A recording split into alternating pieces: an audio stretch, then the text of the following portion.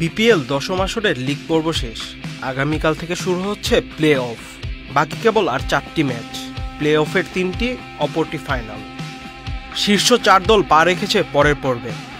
বাদ পড়েছে ঢাকা, খুলনা, সিলেট। এবারের আসরে সবচেয়ে বাজে পারফরমেন্স করেছে দুর্দান্ত ঢাকা।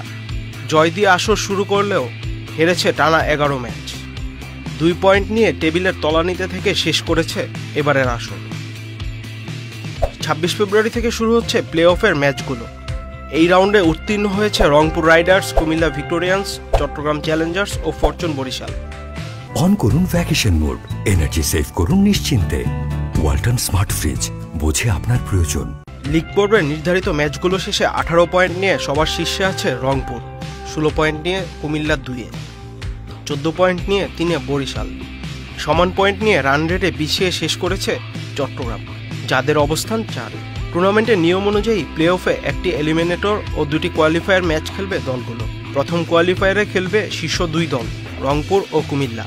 তিনে ও চারে শেষ করা বরিশাল ও চট্টগ্রাম খেলবে প্রথম এলিমিনেটর ম্যাচে। এখান থেকে জয়ী দলটি দ্বিতীয় কোয়ালিফায়ারে মুখোমুখি হবে প্রথম কোয়ালিফায়ারের সাথে হারা দলটি।